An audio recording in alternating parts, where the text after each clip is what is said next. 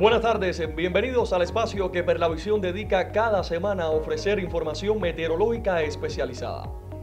Durante los próximos 12 minutos conoceremos cómo influyen las condiciones del tiempo en algunas actividades socioeconómicas fundamentales de nuestro territorio. Mantenga la sintonía porque aquí ponemos el tiempo a su favor.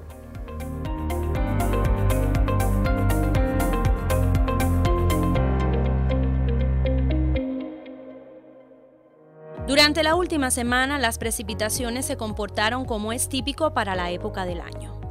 Esta situación obedece a la presencia de una hondonada en superficie que incidió sobre la mitad occidental de Cuba en combinación con el alto contenido de humedad en la vertical de la troposfera. Los municipios más favorecidos fueron Lajas, Rodas y Cumanayagua, aunque de manera general todo el territorio ha recibido precipitaciones. En cuanto al régimen de vientos, predominaron de componente sudeste en las mañanas y del sur en las tardes, con velocidades que no sobrepasaron los 20 kilómetros por hora. En tanto, durante las noches y madrugadas se mantuvieron variables y débiles, lo que ha incidido negativamente en el bombeo de agua mediante el empleo de los molinos. Las temperaturas por su parte se comportaron ligeramente calurosas debido a la constante presencia de nubosidad y lluvias, incluso en horas tempranas del día. De manera general, los valores mínimos se mantuvieron entre 21 y 24 grados Celsius, mientras que los máximos oscilaron entre 29 y 32 grados Celsius. Nos acompaña, como es habitual cada jueves, el especialista Álvaro Pérez Senra. Muy buenas tardes, Álvaro, y bienvenido al espacio. Muchas gracias, Leo. El saludo para ti y, por supuesto, al público cienfueguero. Bueno, Álvaro y amigos televidentes, ya estamos en junio y es un mes que se caracteriza por abundantes precipitaciones. Y no solamente que van a ocurrir, sino que durante el mes de mayo también tuvimos muchísima lluvia.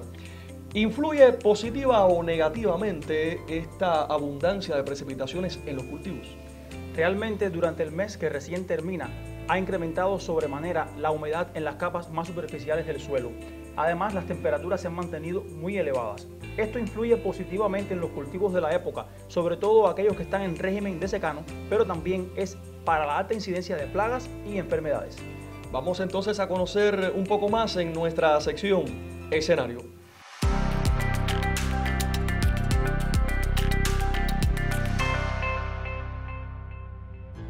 La provincia, a pesar de las lluvias, continúa con la cosecha de la caña de azúcar, así como con las atenciones culturales a las plantaciones, ya sea los retoños o las cañas nuevas. Además, este cultivo es de los más beneficiados con las condiciones ambientales existentes, puesto que se mantiene la mayor cantidad en régimen de secano. La germinación en las áreas recién plantadas también se favorece con este escenario y los productores continúan aprovechando la humedad de los suelos para adelantar la siembra correspondiente a la campaña de primavera. La germinación se refiere al inicio del crecimiento a partir de las yemas presentes en los tallos plantados o en los que quedan en pie después de la cosecha del cultivo anterior. Las condiciones térmicas e hídricas durante este periodo inciden en la emergencia, el desarrollo foliar y la producción de este cultivo. En el arroz se continúa con la campaña de frío, mientras que se prepara la tierra para la campaña de primavera. En este sentido queremos comentarles que esta etapa debe hacerse adecuadamente y en buen tiempo, puesto que en ella se incluyen aproximadamente el 60% de los costos totales de producción. La preparación del suelo se realiza con el objetivo de lograr una nivelación óptima de la superficie de las terrazas, formar las propiedades físicas y regímenes nutritivos adecuados de acuerdo con las exigencias de la planta, así como crear las condiciones necesarias para la siembra, la germinación de las semillas y el desarrollo de las plantas. Para sostener el contacto más allá de nuestro encuentro televisivo, recuerden que contamos con una página en Facebook y un canal en YouTube en ambas plataformas con el mismo nombre de nuestro programa. taf.perlavisión.icrt.cu es nuestro correo electrónico. Y las páginas web del Telecentro Perlavisión y el Centro Meteorológico Provincial son especiales plataformas para que usted adquiera más información relacionada con ciencia, tecnología, medio ambiente y por supuesto meteorología. Deseamos saludar ahora a algunos de nuestros fieles seguidores. Por ejemplo, Beatriz Pulido no se pierde ni una de nuestras emisiones. José Manuel López es un holguinero que sigue nuestra página en Facebook y también nuestro afecto y agradecimiento para Eliani Sánchez Horta, trabajadora de la empresa de acueducto aquí en nuestra ciudad y fiel televidente del programa. A todos, muchísimas gracias por la complicidad.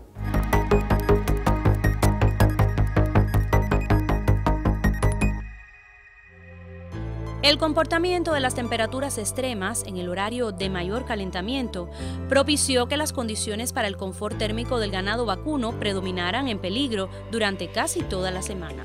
Por su parte, en el horario nocturno se mantuvieron aceptables. En cuanto a los pastos y forrajes, se observa un notable incremento de su disponibilidad para la alimentación animal, situación que repercute de forma positiva en sus producciones, principalmente en las de leche. De todas las fuentes de alimentación para rumiantes, el pastizal natural es la más barata. Sin embargo, cuando no se dispone de una gran superficie de terreno, la baja productividad por hectárea expresada en kilos de materia seca implica un descenso de la carga animal y dotación ganadera en la finca que impide satisfacer las aspiraciones económicas del productor. Para lo que resta de semana e inicios de la próxima, predominarán las condiciones favorables que contribuirán al estrés moderado en las tardes, por lo que continuamos recomendando mantener las medidas de protección al ganado, sobre todo en el periodo del mediodía. Y esta sección está especialmente dedicada a los agricultores y pescadores, así que mucha atención. Asimismo es Leo. Continuarán en los próximos días las lluvias, las que pudieran llegar a ser fuertes e intensas durante el fin de semana. Por ello es apropiado mantener las labores agrotécnicas y la vigilancia fitosanitaria de las plantaciones. En cuanto a los hombres de mar, decirles que estas condiciones serán muy desfavorables para salir a pescar. Pero los detalles de inmediato del cultivo y la pesca.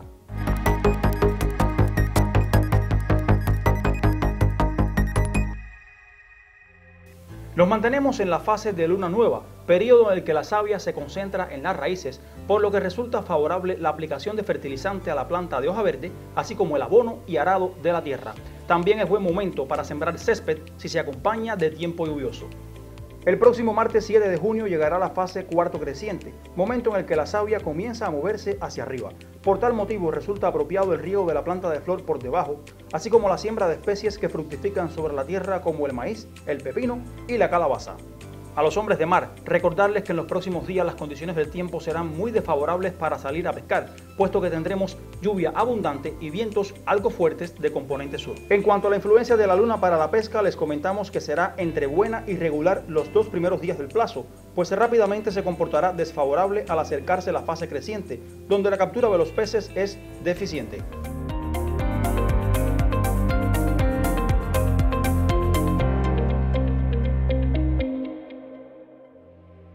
El Día Mundial del Medio Ambiente se celebra cada 5 de junio con el objetivo de sensibilizar a la población en temas que afectan el bienestar del planeta Tierra.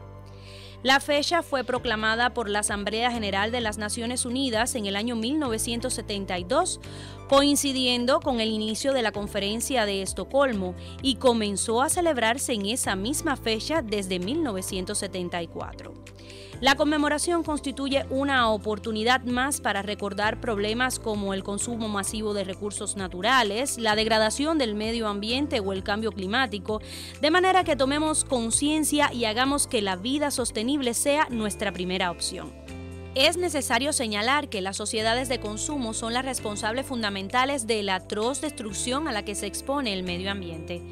Ellas nacieron de las antiguas metrópolis y de políticas que a su vez engendraron el atraso y la pobreza que hoy azota a la inmensa mayoría de la humanidad. Con el impacto del 20% de la población mundial se consumen las dos terceras partes de los metales y las tres cuartas partes de energía que se produce en el mundo. Se han envenenado los ríos y mares, se ha contaminado el aire, han debilitado y perforado la capa de ozono, han saturado la atmósfera de gases que alteran las condiciones climáticas con efectos catastróficos que ya empezamos a padecer. Los bosques desaparecen, los desiertos se extienden, millones de toneladas de tierra fértil van a parar cada año al mar. Numerosas especies se extinguen. La presión poblacional y la pobreza conducen a esfuerzos desesperados para sobrevivir, incluso a costa de la naturaleza. Si se quiere salvar a la humanidad de esa autodestrucción, hay que distribuir mejor las riquezas y tecnologías disponibles en el planeta. Menos lujo y menos despilfarro en unos pocos países para que haya menos pobreza y menos hambre en gran parte de la Tierra. No más transferencias al tercer mundo de estilos de vida y hábitos de consumo que arruinan el medio ambiente. Hágase más racional la vida humana. Aplíquese un orden económico internacional justo. Utilícese toda la ciencia necesaria para el desarrollo sostenido sin contaminación. Esa será la mejor forma de proteger nuestra casa grande de la destrucción. Y ya en los minutos finales nos disponemos para conocer el pronóstico del tiempo para los próximos siete días. Álvaro, al inicio habíamos hecho referencia a que junio será un mes muy lluvioso, pero lo será desde ya. Efectivamente, este fin de semana tendremos, como pueden apreciar, un evento de lluvias intensas en la provincia que pudiera ser entre el viernes y el sábado, quizás también el domingo, asociado al tránsito de un centro de bajas presiones entre el occidente y el centro del país, por lo que las lluvias pudieran alcanzar acumulados superiores a los 200 milímetros en 24 horas. Como pueden ver también el viento será algo fuerte de componente sur con velocidades que pudieran llegar hasta 50 kilómetros por hora. Para la próxima semana se mantiene alta la probabilidad de lluvia, sobre todo en las tardes, producto de una vaguada que quedará extendida en el Golfo de México, como pueden apreciar, chubascos y tormentas en el periodo vespertino, mientras que las temperaturas durante todo el plazo se comportarán algo frescas debido a los nublados y las lluvias. Muchas gracias Álvaro por las informaciones que nos has ofrecido en esta emisión de jueves y a ustedes por la amable sintonía. Nosotros regresamos en la próxima semana, mismo día, misma hora y mismo canal. Aquí les esperamos para poner el tiempo a su favor.